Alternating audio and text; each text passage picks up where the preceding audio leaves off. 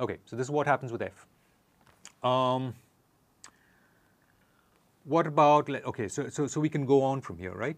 We can go on to all, all the other tensors, but in particular, let's, let's be focused here and look at the tensor that's relevant to studying uh, fluids. We've got the tensor F, we know how it transforms, and this is the tensor that's re relevant to studying elastic solids, right, especially hyperelastic solids. So now let's look at the tensor that's relevant to studying non-ideal fluids. Okay, um, and that tensor, if you if you would recall, is the spatial velocity gradient tensor.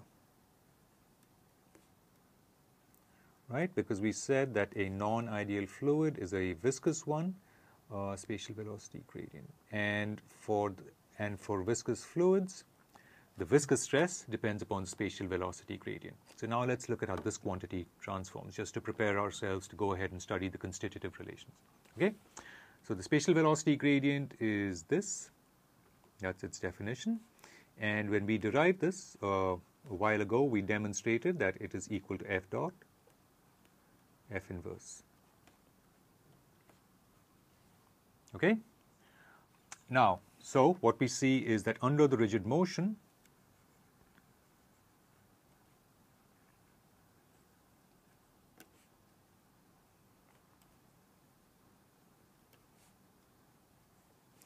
under the under rigid motion of omega t to omega t plus and we know how, how we're going to write that rigid motion. We've done it on the previous slide. We will have this, right? Okay? All right? Which is, um, okay, observe that I've got a transformation on the operator also. And this is because we are talking not only of how the vector transforms, v, but the, but the space with respect to which we are computing this gradient is itself changing under the rigid motion. Okay? That's why we have the plus on the x as well. Okay. Now, conveniently, we have this, uh, this relation. And just before this, we've looked at how f transforms. Okay? So this is essentially now uh, partial with respect to time of f plus, okay, all of this f plus inverse. Okay, we have this relation for f plus where the q is a function of time. Okay, so now we can calculate all of this. Okay. For the first term in parentheses, we get the following. We get q dot f plus q f dot, okay? And this is because, remember that uh, this object is q f, right? Time derivative of that object. Right? That's what that partial time derivative is. Right? Because that's how f transforms to f plus. Okay. So the first parenthesis is what I've written out here. And for the second parenthesis, it's just the inverse of qf. Right? Remember, the inverse of a product is the product of the inverses with the order flipped. Right? So we get here f inverse Q inverse, but what is Q inverse? Q inverse is Q inverse, because Q is orthogonal, is Q transpose. Put it all together and we see that uh, for the first term we have Q dot F, F inverse, Q dot F, F inverse, uh, I'm going to write this as Q transpose, plus uh, Q f dot f inverse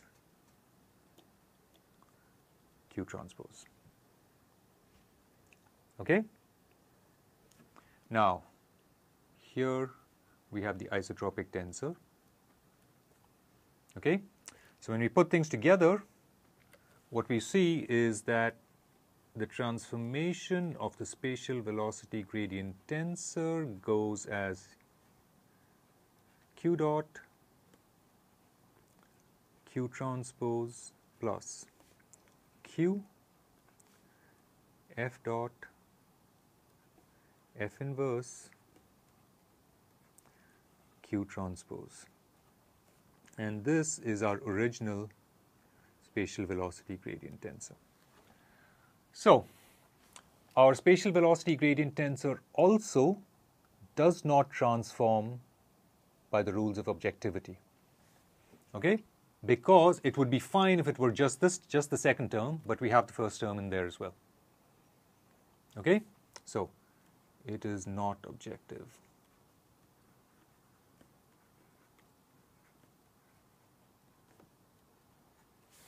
All right? However, there is hope. Okay? Let's look at what happens with the symmetric component here. Okay? But that symmetric component is what we denoted as D plus, okay? As, as D originally, so we're going to call it D plus now. It's the symmetric part of this. Okay, and this all of this came from our definition of D being the rate of deformation tensor, which is the symmetric part of the spatial velocity gradient tensor. Okay? So if we compute the symmetric part of the transformed spatial velocity gradient tensor, here's what we get. Okay? We need to have the symmetric part of q dot q transpose plus the symmetric part of q f dot uh, well I don't need to write that as f dot f inverse. I'm going to write that as uh, q spatial velocity gradient q transpose recognizing that I have this relation here right? Okay now do you remember something about q dot q transpose we demonstrated a while back when we studied rigid motions that q dot q transpose is skew symmetric. Okay?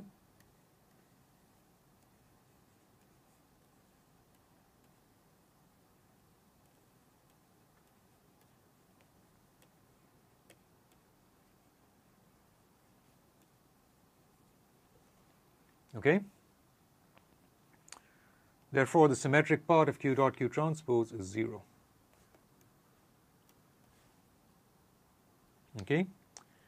So, we need to only worry about the symmetric part of the second term.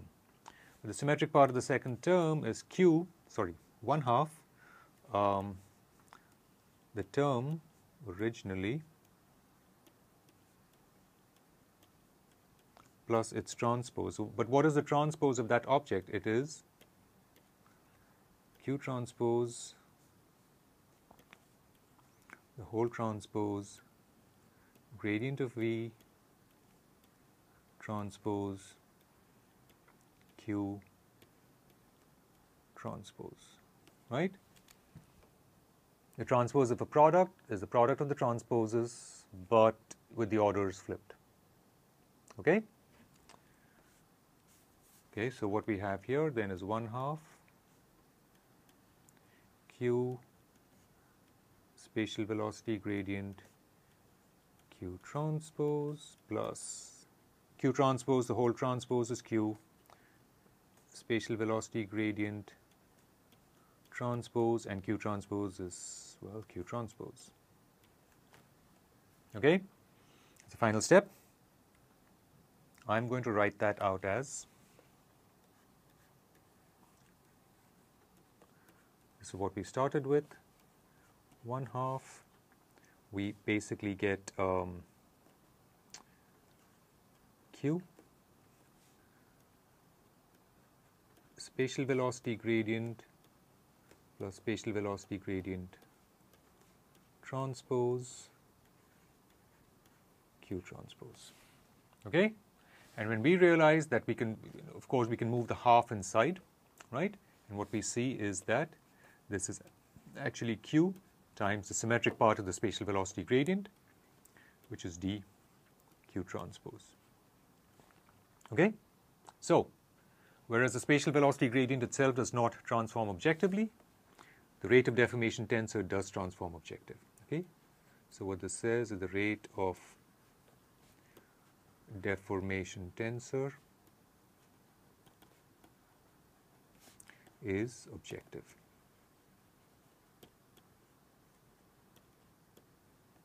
Okay? So we're going to stop here, but the good news is that we're completely equipped now to come back in the next segment and go through these uh, rather tricky arguments of um, objectivity of the relevant constitutive relations for hyperelasticity and viscous fluids. Okay, we'll stop here.